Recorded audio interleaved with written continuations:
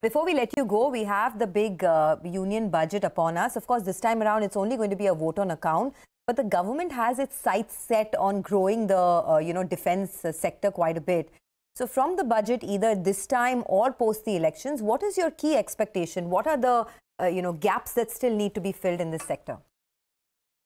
Uh, well, uh, as far as BEML is concerned, the key expectation is that this impetus on defense spending and infra uh, spending should uh, keep uh, going uh, because the top three budget outlays for uh, 23 uh, was defense, rail and metro and infrastructure.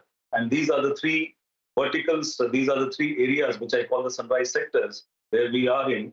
And we'll be hoping that the government keeps up the same momentum in these three sectors so that it augurs fantastically for companies like BEML.